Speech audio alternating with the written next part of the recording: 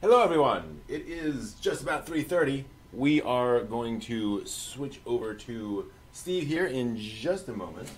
Um, Steve, do you have any slides I need to copy over or pull in? No, No, we just talk about it. Cool, cool, cool. I'm just gonna blather. Okay, sounds good. Just gonna babble like an old man. Fair enough. Um, all right, so we're going to talk about um, filler anime, and I think we are all good to go on that. Although, one moment, there's one thing I'm not seeing. Um, I'm not sure why I'm not seeing the. Okay, yeah, the the chat will scroll in at some point. Um, hopefully that will work. Uh, yeah, we've got our all that stuff good to go. So I think we are right. Right. So take it away, Nice. Steve. Thank you, thank you. You're very welcome. Sure. There we go. Yeah, understand. Thank you for the panel. That was awesome. For for the conspiracies, conspiracies are always, always fun. uh, Fun to to talk about and muse and and you know as we were saying earlier while the the other videos were going on, it's amazing how they all kind of look at the the same type of crazy face. You know, you know, very intent, very very very immersed in what they believed in. So uh, I'm going to talk about um, anime. It's not necessarily the best anime that's out there, um, but it's anime that's, that's filler anime. It's, it's you know probably doesn't get a franchise, or maybe it's part of a lesser known franchise. And this is kind of one of those animes where when you're at like a convention, and you know you're you're at the you're at the you're you're at the video room, and you're just like you know I have to go to the bathroom. I have to get something to eat, and that you go oh what's going on? Eh, I don't need to see that. I'm going to go up and I'm going to go to the bathroom. Hopefully, my cosplay isn't so you know complex that you know I won't be able to make it to the to the John. Or if you're you know getting some food to eat, you know where it's kind of like you know you're you're paying that overpriced money for the the mystery meat that kind of slides off the spoon and lands on top of the biscuit with that like really weird kind of sound. And those are the anime that you're kind of missing. So this is the anime I'm going to kind of talk about. They're fun anime. They're, they're, they're little things that, that you should that, that you should take a look at. And the first one I'm going to start off with is actually an ONA, and it's a very simple one. It's called Gloomy Bear. And Gloomy Bear, each episode is about a minute long. Very, very, um, very minimalist style animation. And the Gloomy Bear is just about a bear named Gloomy that was being uh, raised by a human named Pity. And it is the, the, the, the thing is is that Pity is taking care of this cub and you know giving it nice you know tender loving care and then not realizing that it's a bear because you know bears when they grow up you know eat people and do bad things. So this this this anime is really just about this really cute bear that turns into a murder machine. And so each episode descends into unmitigated violence, but it is kind of funny. Um, if, if, if, if that is something you want to laugh at. But the, one of the things, the reason why that I, I bring it up as something to watch is that there's actually other stuff going on here, even though it's a minute long. Um, and even though the, the anime style is very minimalistic, um, there's a point to it. Okay, so the guy who created Gloomy Bear is named Mori Chack. Um, if you don't know that name, like I didn't know that name, that's not surprising. But for those of you who do, you know that he's a very famous graphic designer in Japan. And he has a whole line of cute things that go violent. And it's called um, Chak's, Chak's line. And debuted in 2000. And so what he does is he takes these adorable kind of creature type things and says, okay, here they are, and we're going to make them violent. And it's a very popular chain, and they it sells a lot of goods. So they made, of course, a manga out of it. And a manga is just simply as, as I described it. It's a, a boy who, who raises a, a, a bear. And then they decided most recently, I think it was, was it 2020? Or, yeah, I think it was in 2020. They released it as a one minute episodes on ONA online uh, anime. And it's got a pretty good following, but it's not something that you you have to look for it. So you, it's it's on I believe it's on Crunchyroll, and you have to look for it. And you have to once you find it, then you can enjoy it. You can either enjoy it in all one sitting or just watch it episode by episode as, as you want. There's no there's no underlying plot. Now, the genius behind this thing is that not only is it a basically just a line of violent, cute things, it is actually a statement that Mori Chack is making. And what he's making is, I, I'm making something that's supposed to be anti He kind of took a look at Disney and kind of took a look at it and he said, look at their business model and said, okay, so we have these movies that are, you know, have animals, cute animals in it, cute animal people kind of things going on. And everything is adorable and it sells all this merch. And because, you know, that's how Disney makes its money because they, they rule everything now, just about. And he he decided he wanted to create something that was cute, but totally not Disney. He wanted something ultra violent that would be in total contrast of Disney. And actually, it's turning out that that it works. Um, and the the anime is actually driving up the the sales. The anime, I think, was kind of a passion project. I don't think it had a lot of funding behind it, but it is doing what it's supposed to do and it's driving up sales.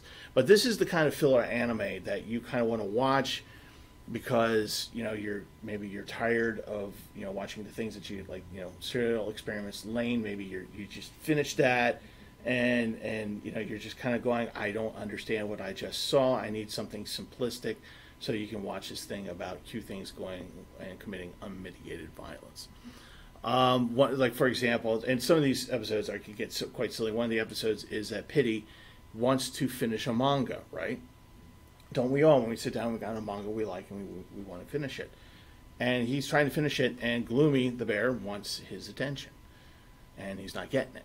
So you know, cute animals would do cute things. Gloomy goes, "No, I'm going to beat the holy crap out of you." So he takes Pity and starts swinging around the room, gouging him, mauling him, and all this stuff. Meanwhile, Pity is just literally just going, "No, I am going to finish this manga. I'm going." So as he's being slung around, smashed up against the wall, he's still feverishly holding that manga in his hand, and he finishes it. But um, but just that just kind of gives you an idea of, of what we're looking at here. Um, on a more kind of uh, serious note, um, an anime that I think is a good filler anime. Um, you can take it or leave it, kind of thing and that is Casshern Sins. Um, this is a um, unlike Gloomy Bear, which is which is supposed to be funny. Casshern is uh, not not so much. Um, it is now. There's two versions of this. There's the original version that came out in the '70s, and it was and it was your prototypical, um, you know, um, boy android and his and his um, pet robot dog thing you know, are out to, to save the world against the evil robots and save the human race.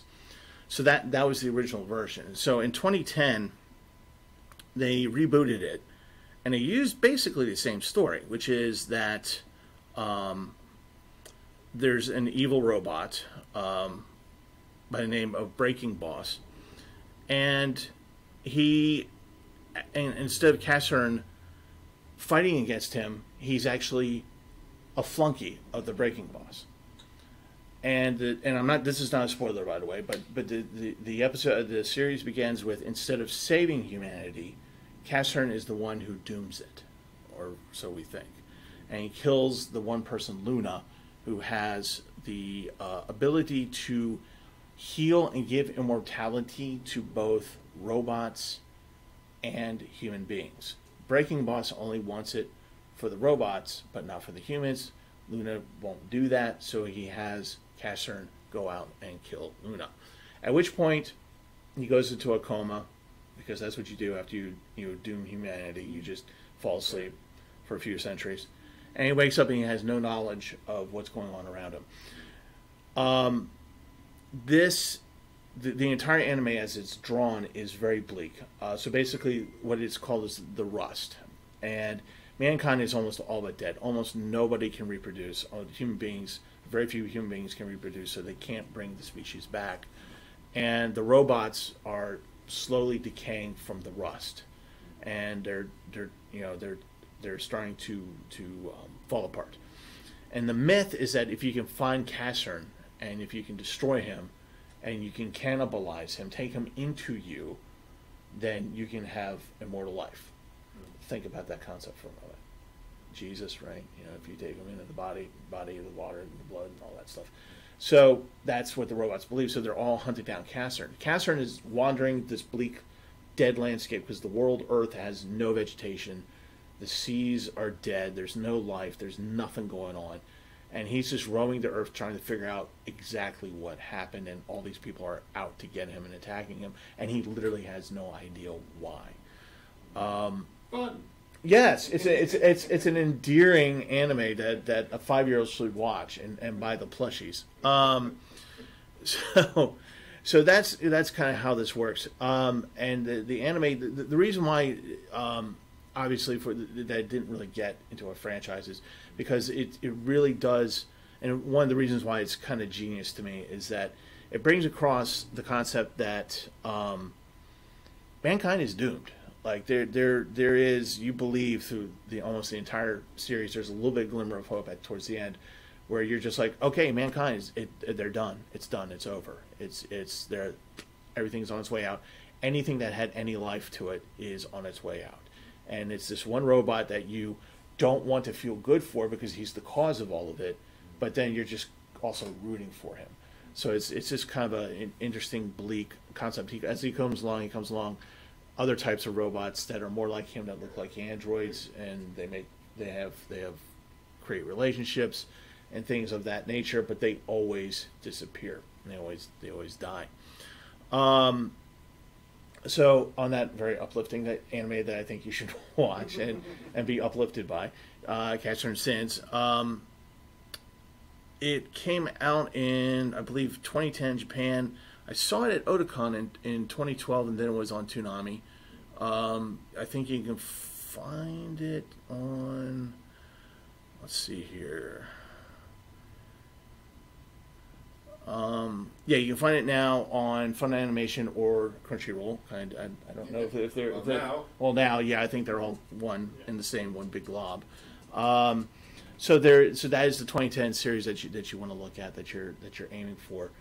Um, again, it's it's Casshern Sins, and uh, even though it is bleak, it's kind of like uh, Wolf's Rain, where you kind of have that bleakness of, of end, and um, it's it's something worth worth worth watching. Um,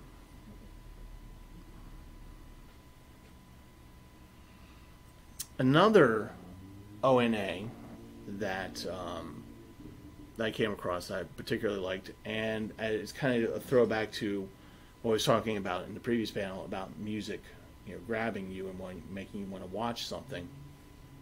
And it's called "That Is the Bottleneck," and that is the bottleneck. Is again, they're, they're about uh, ten to fourteen minute episodes, and the music is this really good, nice um, punk music that that comes in, and uh, it's it just grabs you, and then you realize that you're watching an anime about people working in a convenience store in Japan. The, the, the lives and tribulations of people working in a convenience store. Actually, it's a little bit more more to it than that. Um, the series basically starts with a character called Motu. Uh, you never see his um, you never see his face.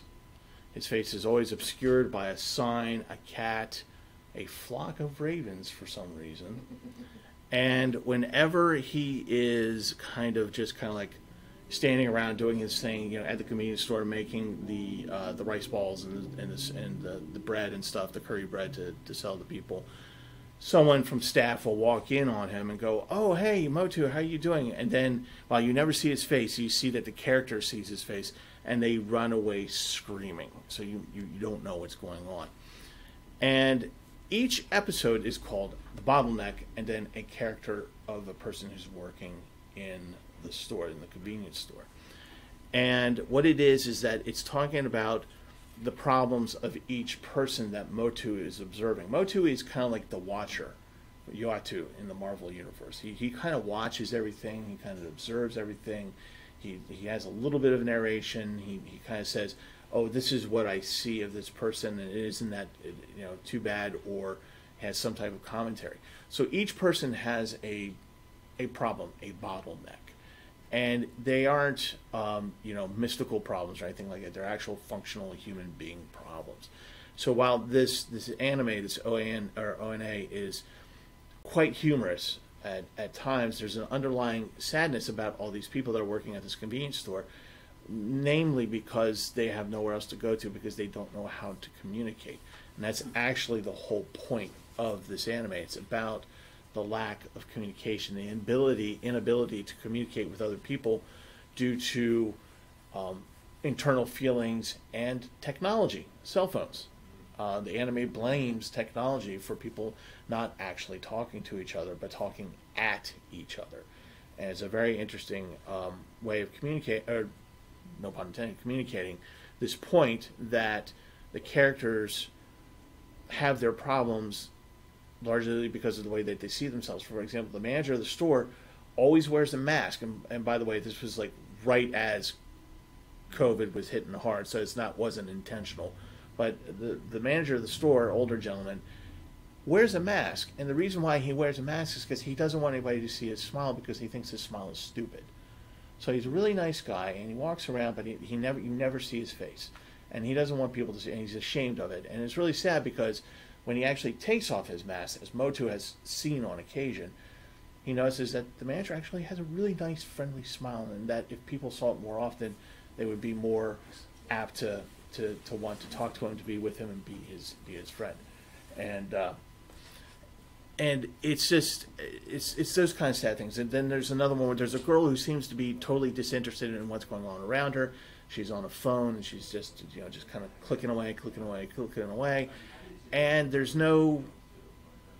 She doesn't really interact with anybody, and she wonders why she's alone, why why she doesn't have a boyfriend, why people don't want to be her friend or anything. And she's doing this as she's on her phone, just da, da, da.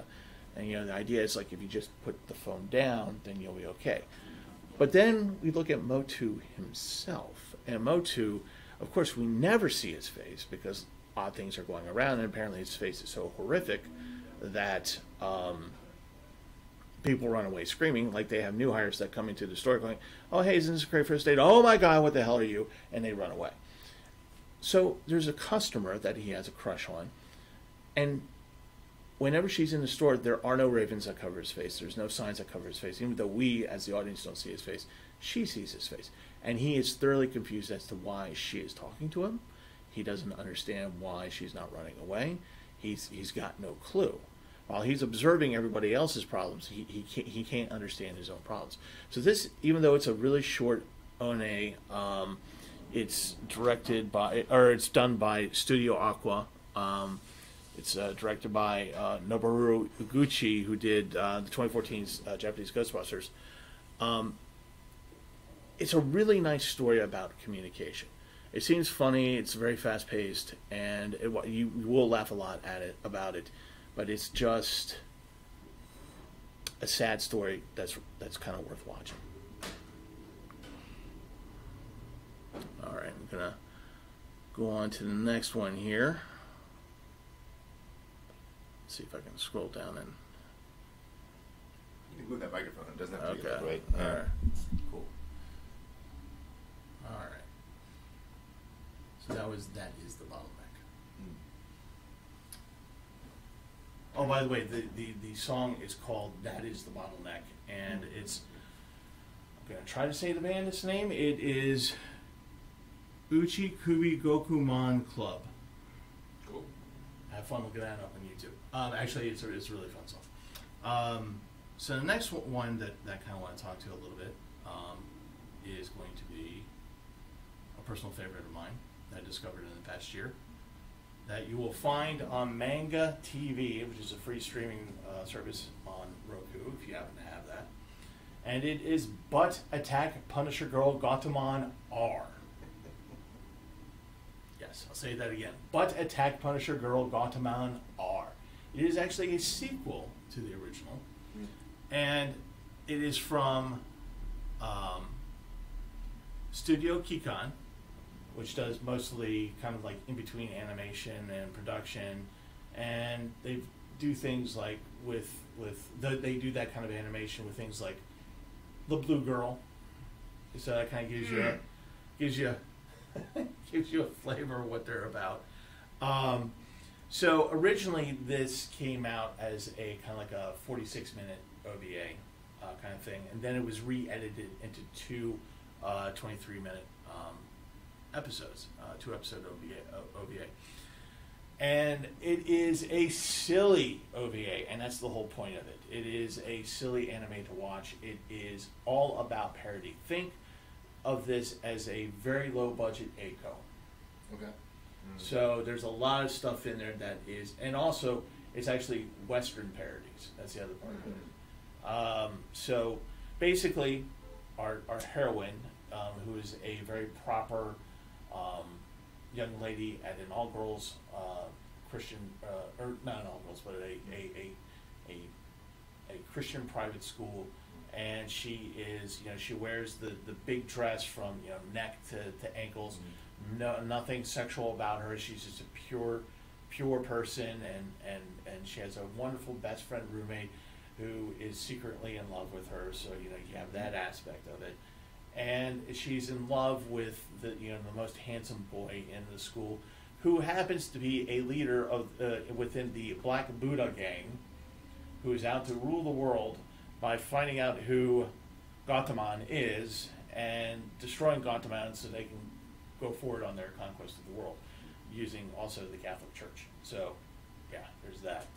Um, so, as these two episodes, it, it, it, it, makes total fun of tropes. It makes total fun of uh, you know the idea of the, the tragedy, the romantic tragedy trope, where where the the guy who's who's the villain, the Black Buddha gang, and her are are flirting with each other, trying to figure out how they can be together, not knowing that the other is actually their enemy. And you know, isn't this very very tragic? But it's actually all very very silly uh, as as they try to figure each other out.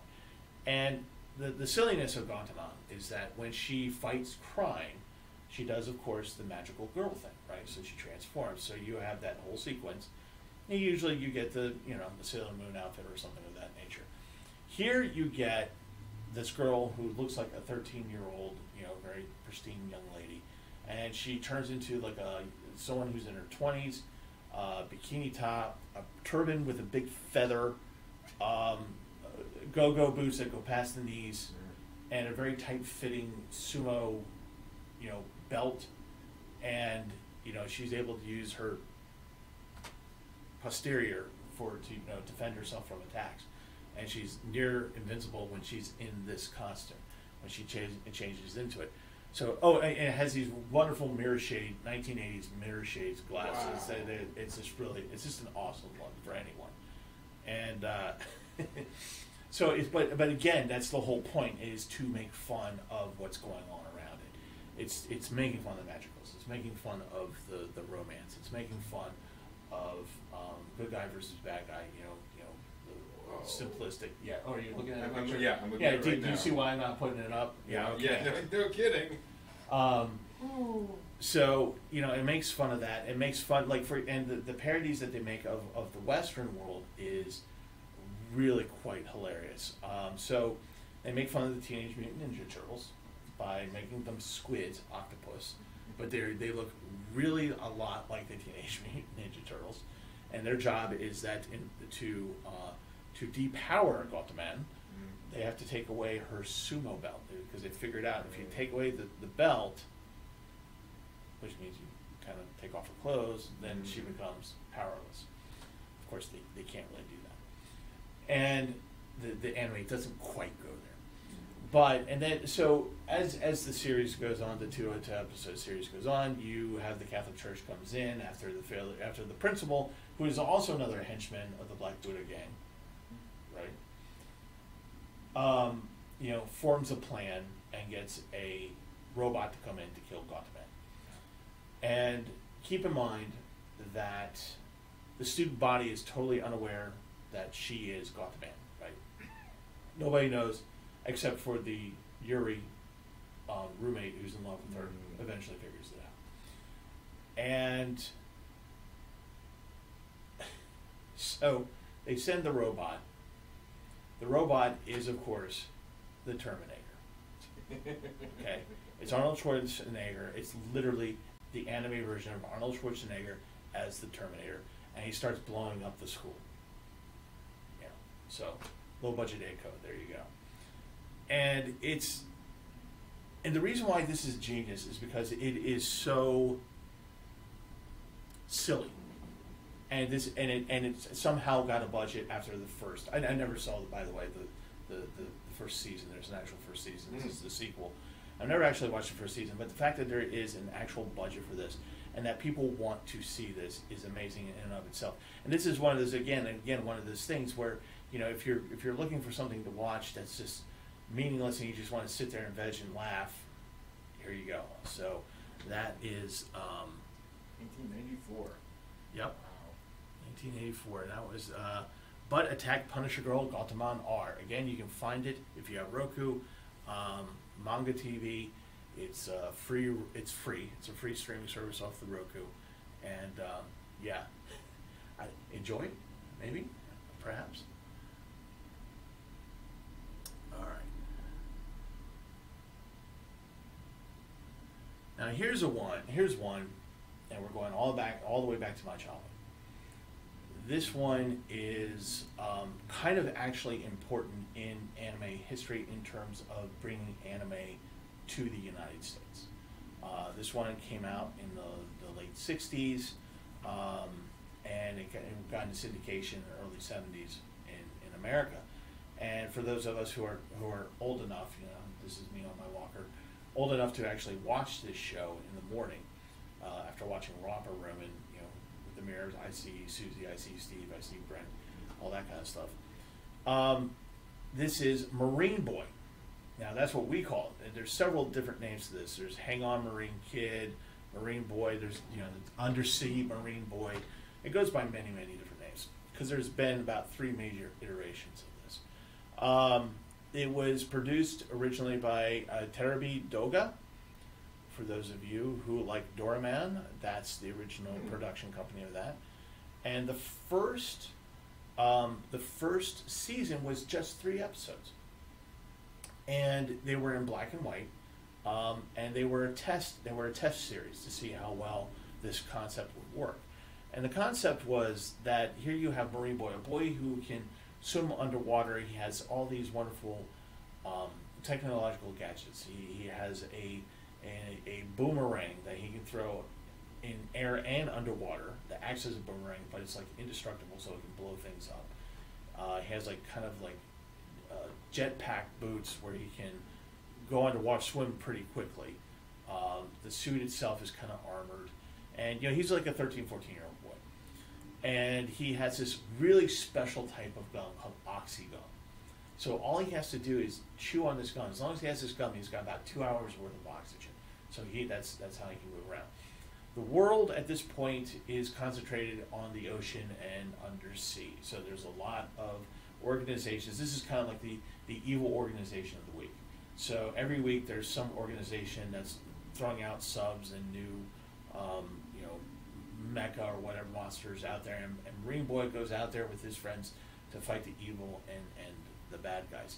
Uh, he has a, a dolphin friend that he can apparently communicate with and he has a little kind of sort of girlfriend named Neptuna, um, who is a mermaid, and the three of them are always going out on the adventure, saving saving the world, saving the undersea world. And it, Neptuna is, is an interesting character because she's the one. Now keep in mind this came out in the 60s and 70s, where women are just kind of like, okay, you can, you know, stay over there and, and not get in the way. Well, Neptuna actually saves Marine Boy a lot. Like he's he's pretty sure of himself, and then he gets you know caught up in the whatever it is that he gets caught up in. Neptuna is just like going, okay, I know you told me, and he literally tells her, no, you go over there, you stay over there because you're a girl and you can't do anything. And of course, he's you know stuck in the cage or whatever, and Neptuna comes in, saves the day, and together they they save the planet.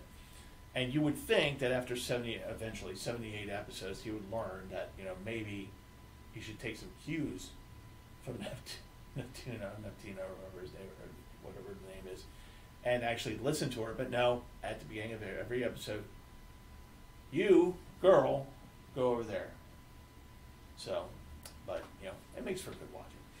Um, so why is this important for, for, um, anime history, bringing um, anime to America.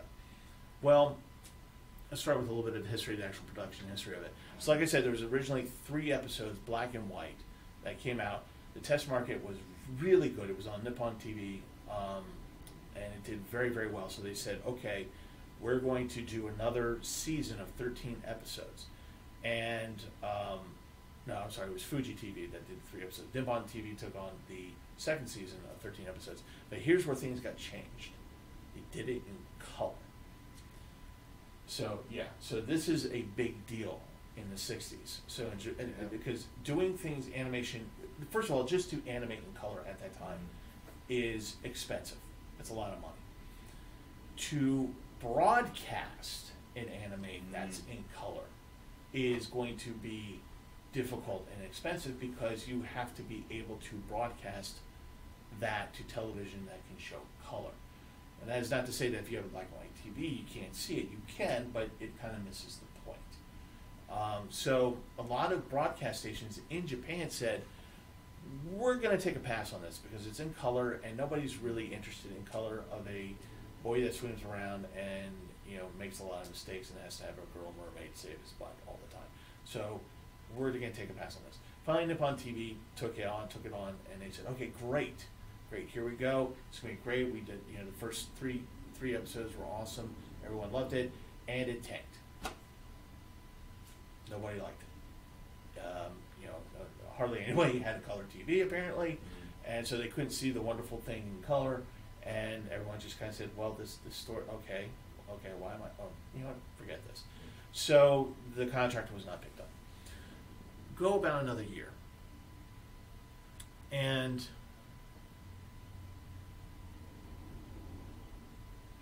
in about that year, this guy, uh, Stanley R. Jaffe, of Seven Arts, which is part of Warner Brothers, saw this, saw the 13 episodes, including the, the, the three original aired ones, and said, hey, this, this will sell in America. This, this will do it. This, we, we mm. can do this in America. We, we, we can, I, I want this. I want to buy this. I want to bring it to America, and we're going to show it, and we're going to make money off of it. We're going to try to, you know, they, the idea was that they were going to go through the formula. You know, we're going to make have the animate or you know have the animation, build the toy, sell stuff. You know, that's that's what they wanted to do.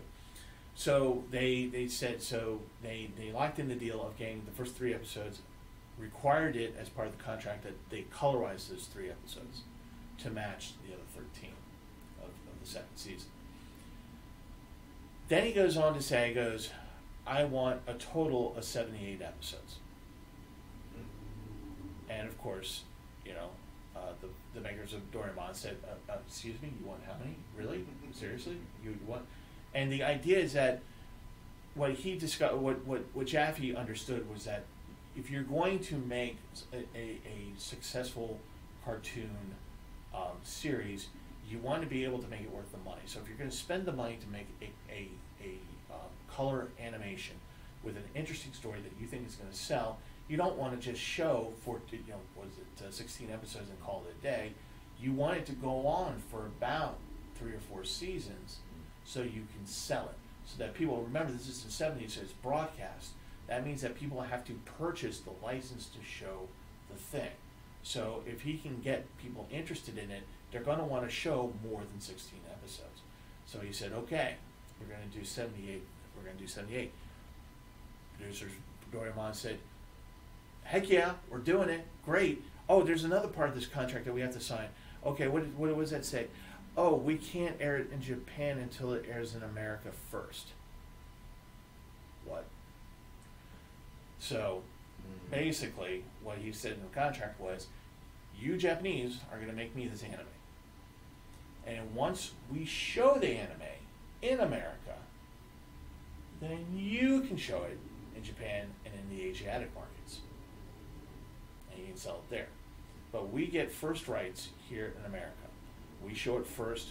That enables us to show it, get people interested, then we can turn around and go to Europe, sell the rights to Europe. Then you get the, the ability to, to show it in Japan, sell it to your broadcasting uh, uh, broadcasters in Japan, and then in South Korea and China, you get the idea. So that was a very big deal because that you know that's a that's not something you would see today. Who today in Japan is going to go animators in Japan going, oh yeah, Americans get to see One Piece first before the rest of us. That's not going to happen, right? Okay, so that that was kind of the deal for for for this, and it's and it's very important to know that once that happened, it showed American viewers, particularly kid viewers, hey, here's this new style of animation. Here's some interesting story. It's in color because most Americans have color TV sets, and they have first choice of rights, which is so so important in terms of broadcasting. In the age of streaming, licensing is different, is done differently, and it's about who gets to do it, not where necessarily where. Um, but it brought in, like for example, this helped to bring in Speed Racer. This helped to bring in Kimba the, the White Lion. These this is it, it shows like these that brought anime to America. And not only that is that why is it important like that, but the reason why you should watch it is actually it is a fun anime to watch. It's it's again it's just a bad guy of the week. You know, it's action packed, twenty minutes of action. It's fun. You get to laugh at it a little bit, and you yeah you get to enjoy it at the end of the day. So it's not anything. So it's something you can put down, walk away, and then come back after you've eaten your rotten food at the convention. Um, so that's Marine Boy, or Hang On Marine Boy, or Undersea Marine Boy, or Undersea Prince, or whatever you want to call it. Uh, it has many, many, many, many, many names. Um, and I am grabbing your your mouse as if Oh, yeah, it is yeah. mine, and I'm like going, why is my cursor not going anywhere? What is going on? I'm going insane. All right, another fun little O and A uh, that came out recently that I adore um, is Skullface bookseller, bookseller Honda San. Um, this is a originally, of course, a manga. Um, it was done. It was published by Media Factory. Uh, it's got about four volumes. It was published between uh, August 25th, uh, 2015 and March 2019. And the author simply really does go by the name of Honda. That's it. That's all she goes by. It's, again, it's a total of four four volumes, and um, it is currently on Crunchyroll. Uh, episodes are you know kind of, kind of small, you know, less than ten minutes, um, but they are.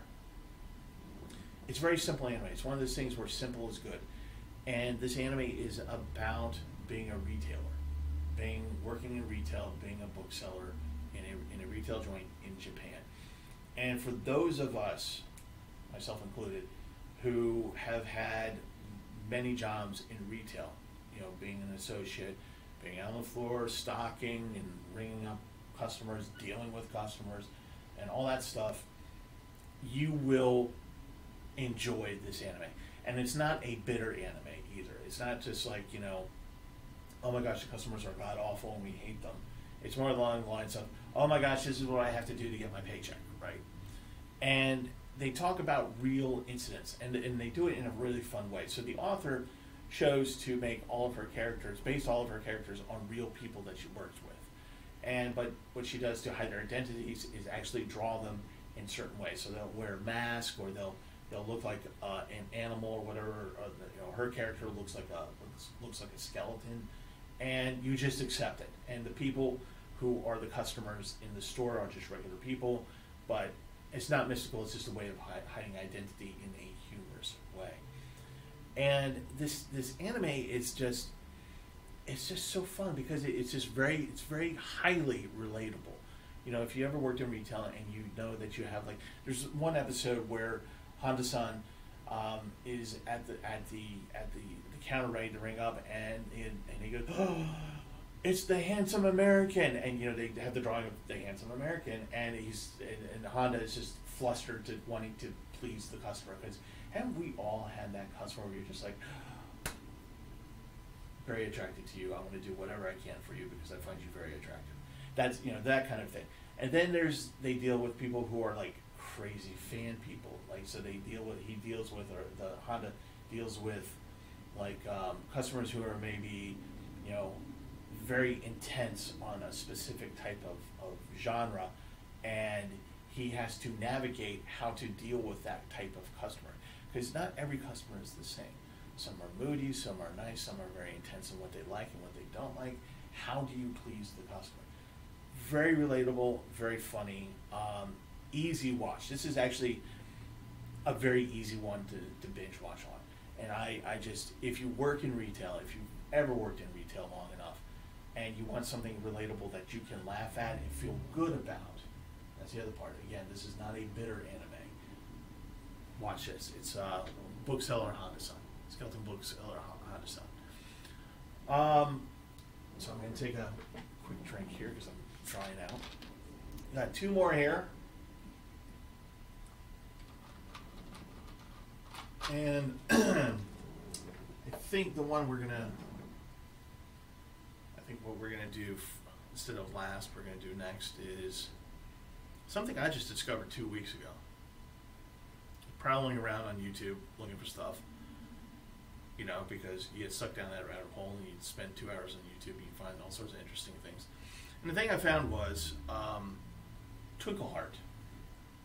So Twinkle Heart is a mysterious, mysterious o- OAV, sorry, and it is no. There's not a whole lot of information about the, this OVA.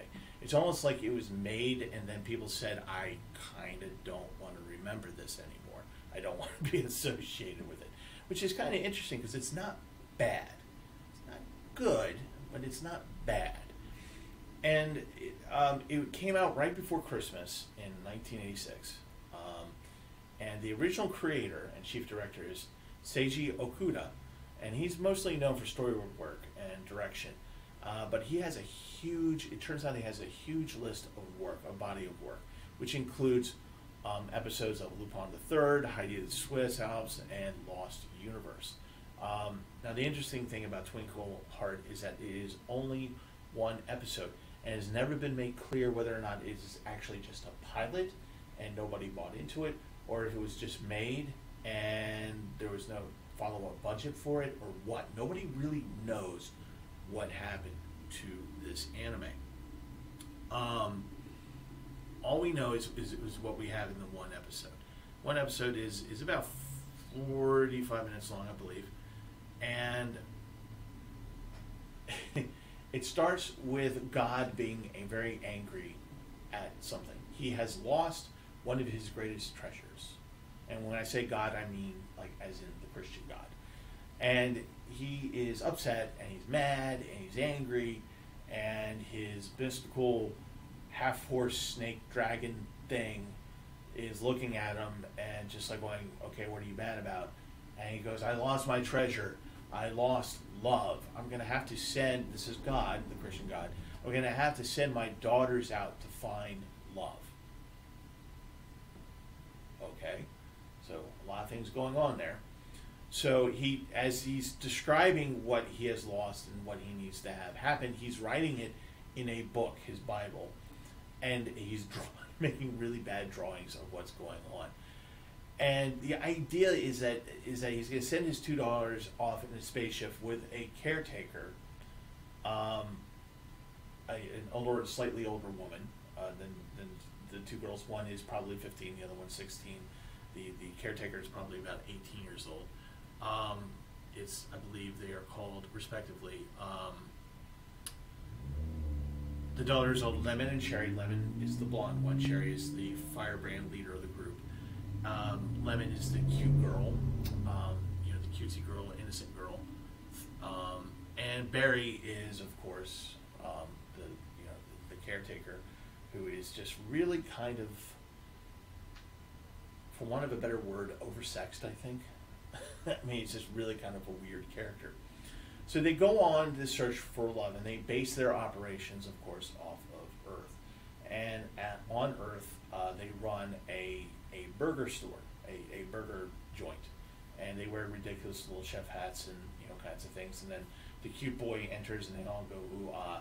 And then they go off on the adventure. They go on a spaceship, and they go. I, we think we found, we found the lost treasure of love. And they go to this planet, and as they're flying around this planet looking for the lost treasure, apparently they've been going through combing the universe for all these different planets looking for it They finally find a reading, and they're like, "Oh, we we think we found the planet, found the treasure." And they land their little air bikes, and what it is is it's three little snot nosed brats beating up on plushies, sentient plushies. So one is a very shy bear, it's kind of doing this thing as it's getting beaten with a stick. Another one is a kind of uh, cute vampire rabbit plushie that keeps trying to fly away, and they beat it down with a stick. And so the girls are just like, "Oh, it's plushies. Why are you hurting them?" And they go in and save the plushies by, you know, dropping firearms down on them. You know, just kind of going, leave, leave the plushies, step away from the plushies. So obviously, we've gone into the absurd.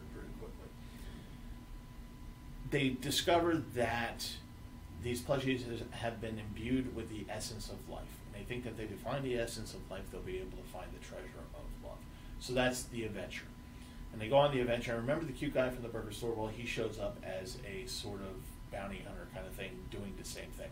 So they join forces and they try to find the lost treasure of love, and uh, they battle evil plushies that looked like giant mecha teddy bears with guns and fangs. And imagine Gloomy Bear about you know 20 feet tall with a with an AK-47. That's that's kind of what you're looking at. And uh, so yeah, so it goes from the sublime to the ridiculous really really quick. And so why should you watch? Why should you watch this?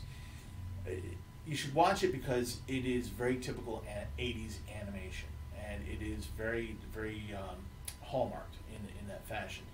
And the weird thing is that it's not bad animation. It's actually quite good for the time. Also, it's just an interesting mystery. What happened? Nobody talks about this this anime, by the way. Nobody really talks about it.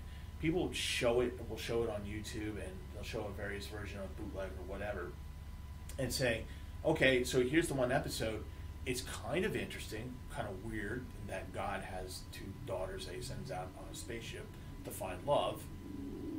And, you know, where do you go from there? Where, how do we get any resolution for this? What is this? Was this a pilot? Was this a one shot? Was this really it? Was this all there was going to be to it? Keeping in mind that the guy who wrote this, directed it, and made the storyboards has a very storied career at this point. I mean, he's a veteran of the industry. He's you know, he's a guy that you go to to do your anime. So what happened? So it's the mystery. It's it's, it's, it's what happened. So for those of you in chat land, I offer you this this little challenge.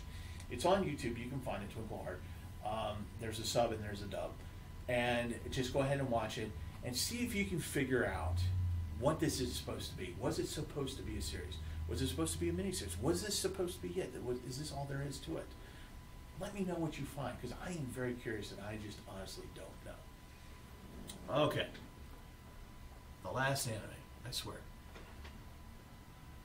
Um, this one I saw at Otakon, and I thought it was very interesting, and I didn't really know much about it at the time. Um, for those of you who know me, I'm a huge Lupin the Third fan. I watch most of the stuff it's it's a, it's a fun thing for me. I just really enjoy it immensely. And on the it was kind of weird because on the 40th anniversary of, of the anime series, and I think it was the, according to my notes, 45th anniversary. I'm oh, sorry, it's the 45th anniversary of the manga and the 40th anniversary of the series. They're celebrating it at the same time. They were going to bring out a new Lupin anime. This is in in uh, 2012. Yes, 2012, and it's a 13 episode series, and it's called Lupin the Third, The Woman Called Fujiko Mine. We're talking, this is all about Fujiko. It's not really about Lupin. Lupin's in it. So is the rest of the gang in various places in, in the anime. But this is about her, and it's about who she is and, and why she is. So, you know, for the rest of the Lupin series, you get Fujiko, who comes in, who's a very endowed figure, and she's, yeah, yeah, that's the best way I can put it uh, endowed figure who is smart but is always captivated by the rich, by the, the very shiny diamonds and metals and jewelry and all that kind of stuff, and is is very flirtatious with, with Lupin and is, enjoys leading him on, and you know, it's very quite silly, right? And she's she's capable. She's a cat burglar, and she's capable. But you know that's that's what you get from from the series. Well, this the one called Fujiko Mine is much darker it is much more involved, and you get a lot more detail about Fujiko herself, and you learn a lot, a lot more about her. Come to appreciate her a lot more. And the interesting thing about this series is that it does a couple things well. It shows how Fujiko comes into contact with Goemon, Jigen, Jigen, and Lupin independently. So she has relationships with these guys before they all became a little group. And not in a best of ways. Actually, quite adversarial ways.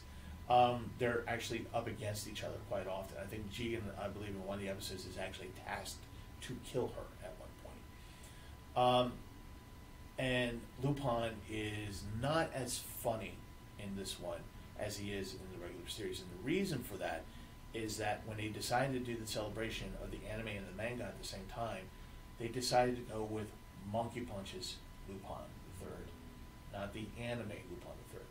If you know your manga, Lupin III is not a nice guy, and that manga series by Monkey Punch is very adult. Um, there's a lot of death, there's a lot of betrayal, there's a lot of sex, there's a lot of misogyny. It's it's not something for kids, and this this anime this particular anime series is definitely not for kids, by the way. Um, so it brings the that darkness into play. So the the it's not a casual, oh Lupin, come get me, yeah, ha ha, I'm gonna run away from you. It's literally no, you stay away from me. Seriously, stay away. I, I don't want you near me. And you learn through the series as she's meeting up with Lupin, going around and, and Jigen, and she's going on her own individual adventures. You come to realize that her desire for the bright shiny things is not really her desire, but that's what she's programmed to do. She's not, you know, a very carefree, flirtatious woman. That is a skill set that she has, that she uses to get what she needs. It's a very different Fujiko than what you get from, from the, the regular anime. It's a deeper story, and it goes to a point where it, she sees a young lady being treated the way that she was treated as a girl, and her solution to this problem because she doesn't want the little girl to be like her because she's doing things kind of against her will is to actually kill the girl. She'd rather the girl die than be like her. Pretty dark, interesting, but pretty dark. Um, so that kind of gives you a flavor of how of kind of just how the how the anime goes, and it's very good. It's there's a lot of action to it. There is a lot of I mean, like I said, it's adult, but you know, tasteful. Well, as much as anime can be tasteful, it's it's tasteful, um, and it's it's uh, it's just very interesting. You you learn about Fujiko, and that's that's the whole point of this, and it is the animation is incredibly incredibly well done. It's very superior. When I saw it at Otakon, I was like as soon I watched you know how they show four episodes at a time. I immediately ran down to the dealer's room to try and find a copy. And just as I feared, pretty much all the guys were, yeah, it's just for some reason, you know, people, a whole bunch of people came down here and, and, and sold, and I sold out of it. So it took me a while to get to find the series and actually watch it. Um, again, this is not for kids. It's not something that you get. Uh, you, you sit down with Junior and go, oh, hey, look, Lupin the Third. This is gonna be funny. This is not that Lupin. This is the Monkey Punch Lupin. Um, the and the other thing, just just to be clear about this series, is that it is also about abuse of very various kinds, and that's kind of how Fujiko gets created. But this is definitely one of those ones where, when I was at Otakon and I saw this, there was like maybe a few other people there, and they, you know, like I said, they bought they bought it out. People were kind of surprised that this thing that was that all these people just ran down to the deals room and, and bought it out and then they put it on a moratorium. It's been released since then, actually, as of this month. I think it's on Blu-ray. Um, you can't really find it anywhere. They were going to put it on Toonami. Mm. They were, yeah, because Toonami said, okay, yeah, we like it. They got as far as getting the licensing, and then they said, okay, well, we might have to edit this a little bit to, to put on Toonami, and they realized, oh, well, if we edit this, basically, it's it'll be five minutes per episode. That's about all we can show. Um, so okay, so that's you know that's Fujiko Mine, um, and that is anime that um, not quite franchise material, but it's really good filler anime that maybe you have missed because you had to go to the bathroom and maybe you needed something to eat. Um, so that's that's it for the panel. Uh, I await your questions. Thank you, Steve. Thank you. Always fun. Um, yeah, so always cool to, to, to go on. Um, have you seen the original Fisher? Yes. Okay, which do you prefer? I prefer the I prefer the uh, the 2010. I, I, I, I well you know in case you couldn't tell by my descriptions of Sunday anime, I, I, I kind of like the dark stuff a little bit. totally. Yeah. Um, that's cool. By the way, if you go on Netflix um, and search for Lupin, you will find a modern live action Lupin um, with a, uh, a black man. Um, there's French because Lupin is a French character. It is an adaptation of the French Lupin character. Um, you might not see it for a little while because uh, there was a robbery on the set of Lupin. Really, I didn't know this. Yes, this just happened this last week. Oh really? Um, and apparently they made made off with with some you know stuff on, on set. That's hilarious. And here here's my question. See, if it were me, the actor who plays Lupin would actually be a master thief who gets the role as Lupin. that would be awesome. that would be awesome. That would be really great. But I, uh, I'd like to see that news report. That would that would be funny. major heist of a, uh, a thing. And apparently, like he was he was there. Like like this wasn't like dead of night. Like they, they, they, Oh. they took stuff while like while he was in another room, you know, doing things. So it's, Wow. like, mm, pretty scary. Wow. Um, but yeah, doing a uh, doing the, the those one offs are always fun to see the stuff. It's like yeah, this is never gonna be a franchise. It's just Yeah. oddball little shows. Um, you know, because there's so much out there. God, there is. I, when I was trying to come up with this list, by the way, by the way, this list is actually much much longer, and and I could have gone on like you know I could just say you know what Uncon's going to be about me. and I'm just going to talk about these anime. Um, like like one of the ones I did want to talk about, but I opted to, to go with, with Fujiko, was uh, Way of the House Husband. Mm. you know, on, on which is on Netflix. I encourage you to, to watch that. It's a good, another good little one. Um, but yeah, they these the the idea I got for this for this panel was simply because um, there really are a lot. There, there's so much anime out there, right? Yeah. There's so much to watch, and you know, like, and I was thinking about it at the convention, like whenever I had to go to the bathroom, and I was like, you know, you know, here's video room A, Mm. and the bathroom is like over there, like you know, on the other side of the center, and you have to run, so you're gonna miss stuff. And when you're like planning at a convention, or you know, you know, you need to eat, you eat that weird sloppy Joe meat kind of thing, and you, you Meat product. Yeah, meat product, uh, animal or people, you decide. And you know, you, you plan, you know, like you get your phone, you get you plan your how you're gonna look at it. And you look at it, and you look at the video. What's what's what's what's playing on the video rooms, and you go, oh, I'm not interested. I, that doesn't sound like anything. I'll I'll skip that. And it's amazing what you miss, but you know you can't you can't help it sometimes. Sure, But- yeah, yeah. But you know some of the stuff you miss, like if I hadn't like the Fujiko thing, um, was so amazing. I'm glad that I stuck around. I was actually about to get dinner, and then I realized there was a Lupin thing coming up next. I was like, oh, it's Lupin. I gotta see this, and it was something totally different. I'm glad I stuck around for it. Yeah. Um, Uh, what was the question here? Uh, why is Lupin season three considered not well received as the other seasons? I don't know. Um, my guess is, and I've only started watching it. Is my guess is that uh, people are probably turned off by the animation. Um, I like it personally. Um, I you know it's, it's Lupin, so it's not going to be a hard thing to watch. But I think it's part of it that, and part of it is also I think it's more along the lines of um, it's not Monkey Punch, but it's in that direction. I think um, a little Yeah. bit. So Yeah, yeah, yeah. hey Jay. Um, well, if, if you're talking about original Lupin, um, I know season one was Miyazaki. right. I think he left for season two. Mm-hmm. Um, and so I don't know where it had gone by season three, but maybe by Yeah. that point it was like, well, this is going, in, you know, this is one or too far off the, the, the plan. Yeah. Who knows? Um, good question.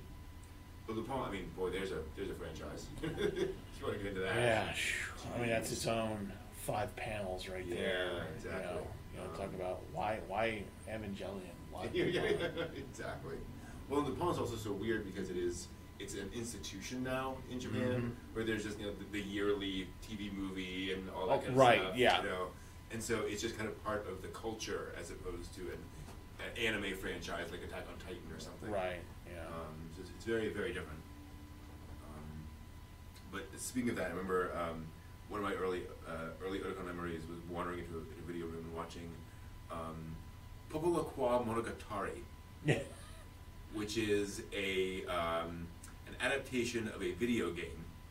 Always a good start. Um, which is basically these little chibi characters all running around in a fantasy world.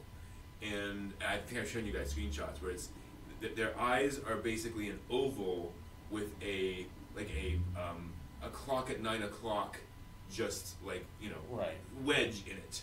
That's the that's the entire eye for all the characters, and it's just like Wait, that's the one that has really good Celtic music. Right? yes, yes, Yeah, that's the yeah, one. yeah, yeah, yeah, yeah. gorgeous music. Yeah. Oh yeah, the Um, music really is. and, and just just you know sitting down and watching you know 20 minutes of that and all these random silly characters running around and then and then you know there's a quiet moment while the, the fairy girl mourns the death of her people on a rock looking over everything You're like what is this what are you doing what is this show Why? and it was some you know three episode OVA and, and you know where this is never going to become I think there was eventually a TV series but it was like video game popular we can we'll make, one OVA you know Right. kind of for the fans you know and, uh, and and get some merch going out of it but just that was the thing Very Yeah, weird. good thing Uwe Boll didn't get a hold of it. Don't know. Do you like Do you like Detective Conan? Ooh. I do actually. I do. I um I you know again that's that's one of those you know wonderful Toonami things that you that you just happen to come across, and I I, I do. Uh, I haven't watched the whole thing. I know there's a lot of a lot to it. I, I watched maybe the first season. Mm. I enjoyed the premise of it, except for the fact that the father is not that concerned that his son has disappeared. but you know, it's anime, so Yeah. you know, yeah, it's kind of like suspension of disbelief. it, it's like Pokemon. Right? Yeah. You Yeah. know, th- yeah. Sure, kid, go off I'll and go wander the the world. world. Yeah. Or was it Hunter Hunter? Yeah. Yeah, yeah, yeah, yeah. Do the dangerous. Oh, you're 11. You're, oh, you can handle the dangerous thing that'll eat you alive. Yeah, sure. That's that's fine. It's okay. It's all good. No, I, d- I do like I do like uh, Detective Conan. I think one of the reasons uh, why I like that show, as opposed to you know, even though it has the fantastical element of him being regressed as, uh, into a boy, um, little boy, is that it is actually a detective show. So that's kind of fun, which which you don't often get anymore. Mhm. Um, Yeah. Hi, Ginger. yeah, I, I feel bad because I think Detective Conan initially came out over here in America at a point Mhm. where there wasn't a lot of like differentiation between um, audiences. Yeah. So Yeah. it came out like, oh, you know, show for kids, kinda, Eh, but there's a lot of murder. you Yeah. know? Dead people. Yeah. Yeah. Mhm. Why didn't we get Doraemon? That's a really good question. Um, here in the West, one of the longest running shows. Yeah. Um, I think the reason is, is, is the, you know, the, the sheer volume of it. Yeah. Yeah. Sheer volume of it. Keep in mind that when uh, in the seventies, when when these things were coming over, the the scripts part of it was is being able to find somebody at that moment to be able to do the voice acting like Dubs. Like you know, a lot of people make fun of of Speed Mm, Racer, yeah. but there's a reason for that, and the reason is is okay. Well, first we have to translate it real quick. Then we Mhm. have to get somebody to do it real quick, and then we have to put it to the to the show real quick, and then we have to get it to broadcast real quick. And if you have a, if you have an already established show of that nature, which I think probably was like what into it already into its Mm. like however many seasons in it already, I don't think that anybody wanted to touch it because of, of contractually having to figure out how you're going to, quite frankly, sub it or no, I'm sorry, dub it. Yeah. So I, I think that's the only reason why we didn't. I also suspect there was a lot of prejudice against, and I, I use prejudice in a broad sense, against bringing over shows that were obviously set in like modern Japan. Right. They're trying to Mhm. explain all Yeah, the references. all Yeah. Mm-hmm. You do Astro Boy Speed Racer, all that kind of stuff, because it's more generic. Marine Boy, all Right, yeah. So that might have been one of those things where it's like, eh, that's going to be hard. Eh, you Yeah, know. we're, we're not going to spend the time on that. Yeah, you know. who knows? Considering all the things they had, to, they they felt they had to change for Robotech, you know, of just like the little Yeah. things like this, ha ha ha ha, like that Right. doesn't make sense. It's like, wow, you know, a sci-fi space opera where that one little gesture is, is not is uh, unacceptable. Well, I think you were you were telling me um, about how you realized that oh, they're not actually being hit in the head with a hammer. Oh, like The- watching Ranma. Oh yeah, yeah, yeah, yeah. and they're realizing, uh-huh. oh yeah, he's not actually being hit in the head Yeah. with a hammer. There's things that are lost in translation Yeah. that come over here that, that people just feel like, oh my god, that's really violent. He's being hit with a hammer. No, no, not really. It's it's, it's a metaphor, visual Yeah. metaphor. yeah, anime can be really violent. Um, you realize, oh, it's just it's a it's a joke, basically.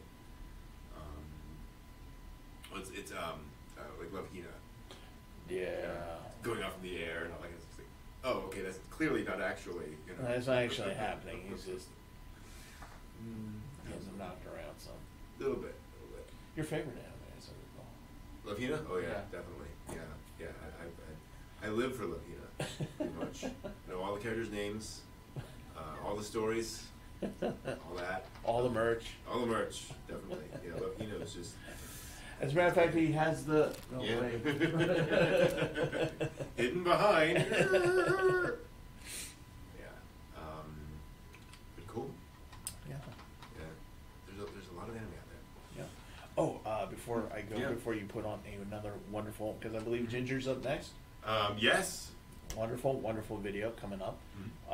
Um, before I go, uh, from the previous panel, from the music panel, Mm. um, I put on Discord a couple days ago in the music section Oh, yeah. uh, links to a link to my s- to the side tube that I have, Cool. and I'll have all the music on there. So if you want to listen to the music that I was talked about earlier in the day, you can go there and, and uh, enjoy that. So. Cool, cool. All right. Sweet. Well, then um, we're going to switch to some uh, interstitials. So we'll see a little bit more of some of um, uh, of Kira's travels around Japan, and we'll get her panel at uh, 5 p.m. Eastern. Yes. So uh, we will see you all back in a little bit. Thank you. See you guys later. Absolutely.